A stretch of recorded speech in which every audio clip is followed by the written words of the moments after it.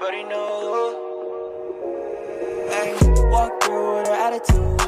Gucci on her neck, I can't be mad